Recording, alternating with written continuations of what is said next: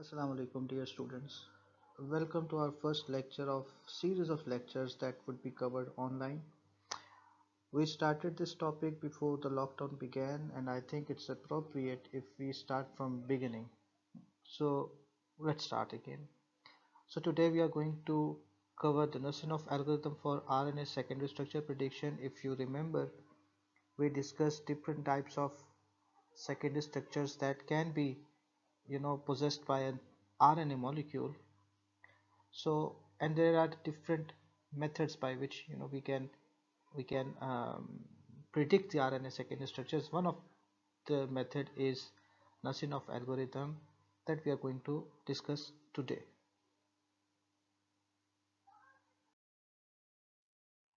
Nussinov algorithm or base pair maximization is a method to to predict the RNA secondary structure uh, that was developed by Ruth Nussinov and this algorithm basically attempts to maximize RNA base pairs. Means it will try to look for a uh, secondary structures that has the maximum number of RNA base pairs possible. Because as we have discussed earlier you know in previous lectures that as the number of base pairs increases the minimum free energy of the molecule also you know uh, it, it decreases. So it has minimum amount of free energy available. So that structure would uh, will be the most stable one.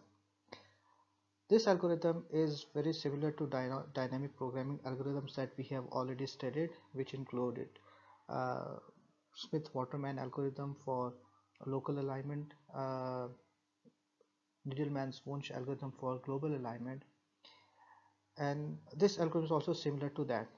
Uh, what's the similarity? We have a matrix. Uh, we have a sequence uh, sequence on the x-axis and we have the sequence on the y-axis. And then we try to fill the um, matrix using some scoring schemes. But here the methodology uh, is a bit different as uh, compared to the programming algorithms that we have discussed previously uh, that and we are going to uh, talk about this in later slides. Uh, but keep in mind that uh, since secondary structure of RNA can be very complex it can also consist of pseudoknots but this algorithms this algorithm specifically it does not predict the pseudoknots okay? So keep that in mind. So basic idea behind this algorithm is very simple. We have to find the secondary structure of an RNA molecule so we have a given RNA sequence of some length. We'll compare the sequence of RNA with itself. Why? Because here we are not aligning a sequence with some other sequence. We are trying to find out intramolecular base pairing so we'll compare the sequence of RNA with itself. The scoring scheme is pretty simple here. If the two bases are complementary to each other then we'll give a score of 1 otherwise a score of 0 will be given.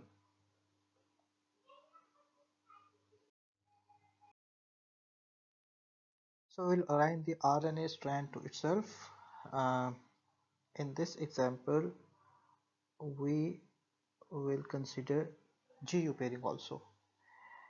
Uh, if you remember in the previous lectures that we conduct, uh, covered in class, uh, we discussed that GC and AU base pairing is known as Watson-Crick base pairing. And other than these base pairing we also have GU base pairing in RNA uh, also known as wobble base pairing okay? So in this example we'll also consider wobble base pairing only.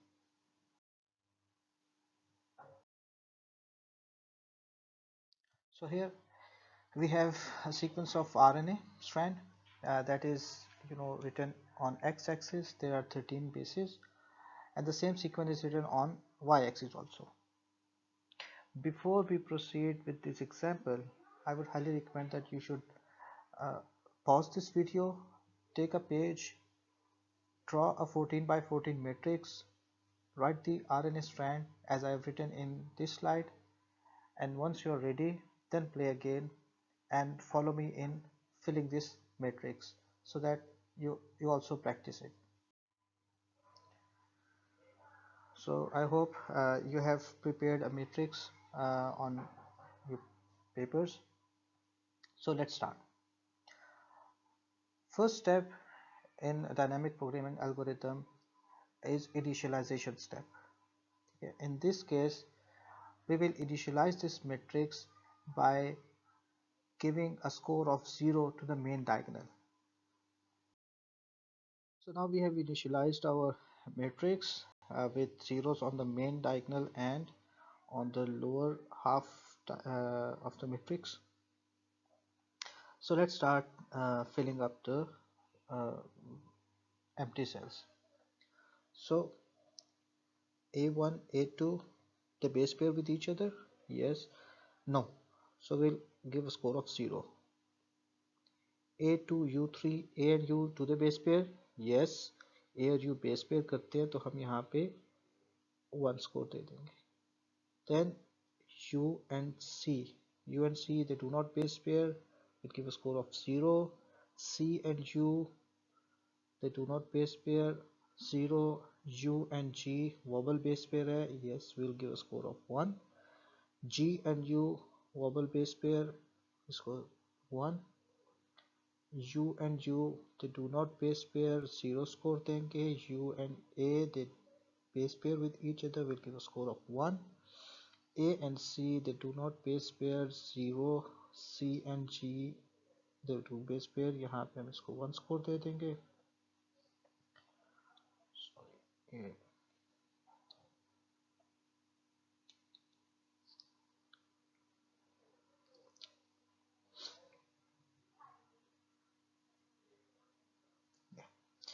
then GC 1 and C and A 0 uh, now this is the first diagonal that we have filled यहाँ पे आप देखेंगे कि we have given either score of 0 or 1 so we'll look for the complementarity if the bases they are complementary to each other if they base pair with each other like this one A and U the base pair with each other. So in that case we'll just look at the score in the lower diagonal lower left diagonal and whatever score is here on the lower left diagonal we'll just add plus 1 to it and write the score here. In the case of non-complementarity like this one a2 and a1 so here in this case we'll just use the highest score present on the neighboring cells okay so in this way you will keep on filling in the matrix अभी मैं आप fill करता रहता हूँ आप भी मेरे साथ इसको फिल करें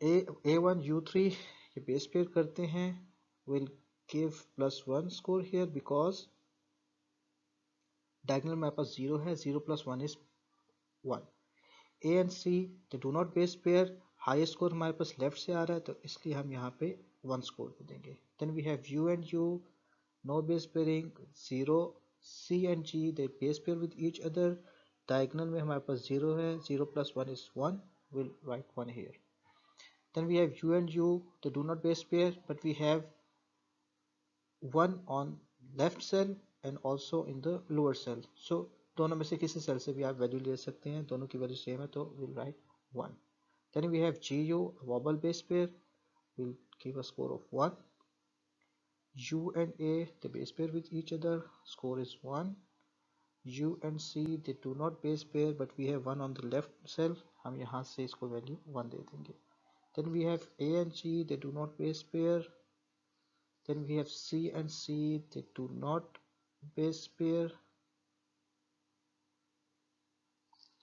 then we have G and A they do not base pair with each other neighboring से highest value ले आएंगे then we have A1 C4 AC they do not base pair highest value दे देंगे A and U they do base base pair with each other so we'll write sorry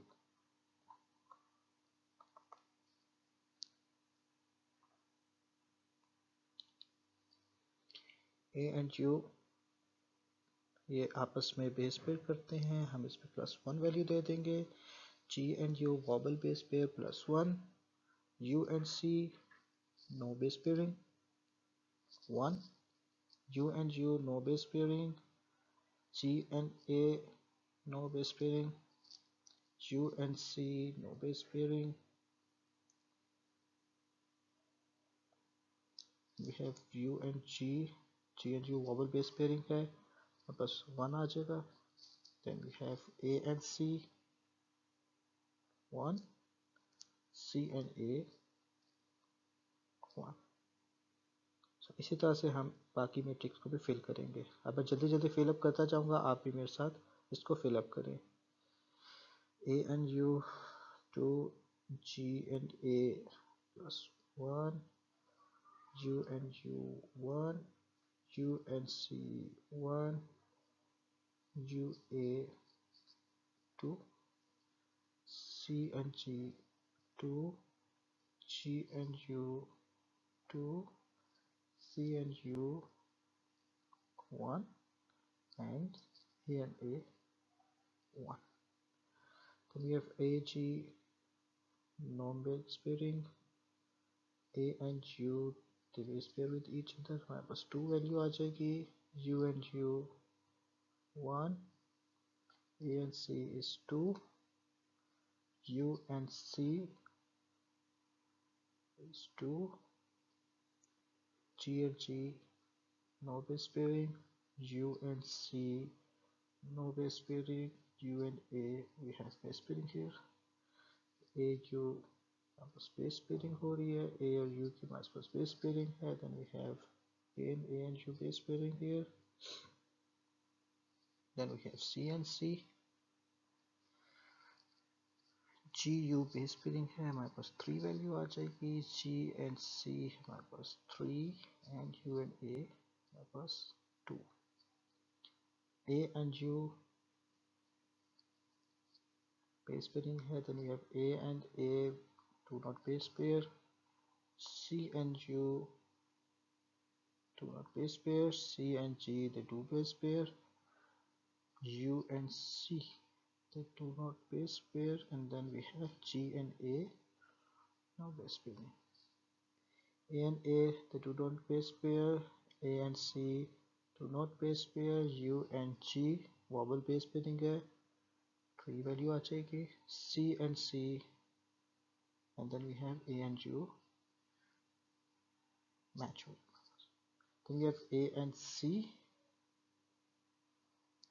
A and G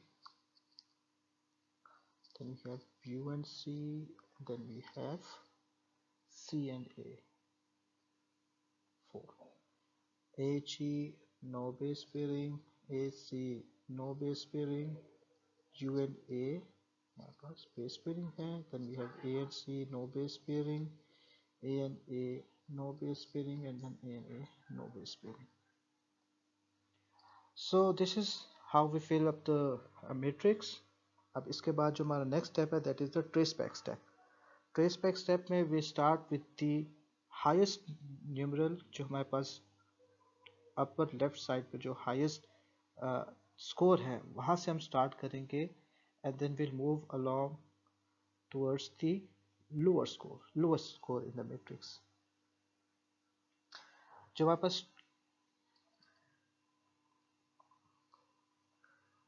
ये जो four है okay so I think I should make it a bit lighter. Sorry. Four. And ये जो हमारे पास four है value ये show कर रहा है कि हमारे पास जो R N A secondary structure है, इसमें फोर पॉसिबल बेस पेयरिंग्स होंगी। अब वो कौन सी होंगी? ये हम ट्रेस बैक स्टेप करने के बाद देखते हैं कि हमारे पास आर एन का जो सेकेंडरी स्ट्रक्चर है, वो कैसा बन रहा है। So what can we do we can first you know mark the track जिस पे हमने मूव करना है, ठीक है? और उसका तरीका जो मैं यूज़ करता हूँ, वो इस तरह से है कि we start with this four ठीक है? इसके बाद we see okay this four came from which cell ये फोर हमारे पास आया था लोअर डायगोनल से राइट सो so, हम इसको मार्क कर देते हैं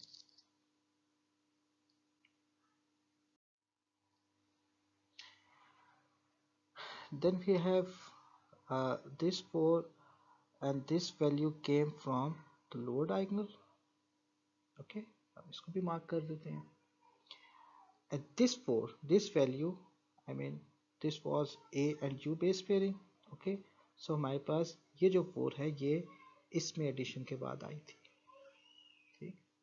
सिमिलरली ये वैल्यू हमारे पास इस डायगोनल से आई थी, ये वाली वैल्यू हमारे पास इस डायगोनल से आई थी। Then we have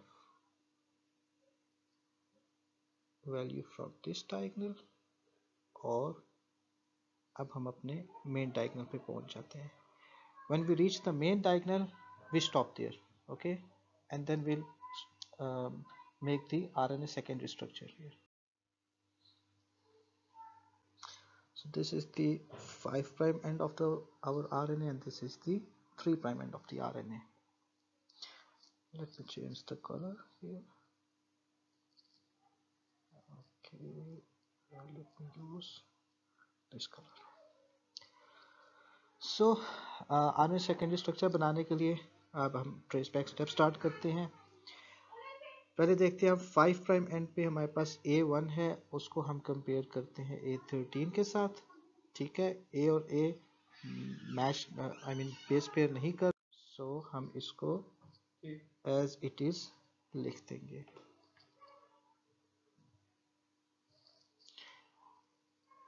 Then will move towards this one अब हम चूँकि डायगोनल पे मूव नहीं कर वे मूविंग डाउन तो हम इस पे uh, इसको सिर्फ़ रीड करेंगे। So we have another A then we have A and U here so हमारे पास यू थ्री और सॉरी यू थ्री और ए थर्टी की आपस में बेस पेयरिंग हो रही है। अब हम इसको देखते हैं। This is C and C okay C four और सी ट्वेल्व इसकी आपस में बेस पेयरिंग नहीं हो रही। Then we have this value this is U and G wobble base pairing है तो we have u5 paired with g11 यहाँ पे हम मूव करते हैं. दिस इज़ जी और C so we have G six and U sorry C ten अच्छा ठीक है. Then we have this value u7 and a9 u7 it pairs with a9 and then we have a u which is left. Okay. So this is the 5 prime and this is the 3 prime. So this is the secondary structure uh, that is predicted by this algorithm. And here you can see that because this score was 4 और मैंने आपको बताया था कि this को represents the number of base pairing in our secondary structure तो यहाँ पे भी आप देखें हमारे पास one two three sorry three and four हमारे पास यहाँ पे चार बेस पेयर्स हैं। So I hope you have understood how to fill up the matrix, how to calculate the secondary structure of an RNA molecule using Nussinov algorithm. There are however a few things that you should you know keep in mind. The first thing the first point is that the RNA structure prediction it remains a difficult problem to solve. It's not easy because as I mentioned it earlier, okay, this algorithm it cannot you know predict or it does not predict the pseudoknots in the RNA structure, secondary structure. So till now we have you know discussed we have studied different approaches to solve RNA secondary structure elements. The first one was the dot plot uh, which is more of a visual uh, kind of stuff. And we discussed that in detail. Then we talked about minimum free energy uh, method and in that if you remember we uh, used energy tables and also you know learned how to read those energy tables. And this is closer to reality. Uh, by that I mean that you know minimum free energy molecules they are more stable and more favorable in nature. We also discussed we also studied covariance RNA covariance analysis. And uh, this method we generally use when we bring evolution into the question like when we are studying the evolutionary relationships uh, we are you know studying evolution in the RNA molecule then we you know use this covariance analysis and today we have used base pair maximization in which we consider all possibilities now here you might be you know uh, thinking that what does it mean by consider all possibilities हमारे पास तो एक ही second uh, structure आया था लेकिन एक जो हमने path use किया it gave uh, you know it gave out you know just one secondary structure but it can have multiple secondary structures. This algorithm can give you multiple secondary structures. So i hope now you know how to uh, fill in the matrix how to predict the rn secondary structure using Nussinov algorithm. And uh, here, size there's a matrix. I would like you to do it yourself okay? And uh, then we'll discuss this um, its solution in the next interactive session. For this I want you to fill up the matrix and also show what RNA secondary structure that you found out using this algorithm. So that's it for today uh, next time inshallah we'll uh, study another topic and I'll share with you the lecture slides of those topics soon. Allah Hafiz and good luck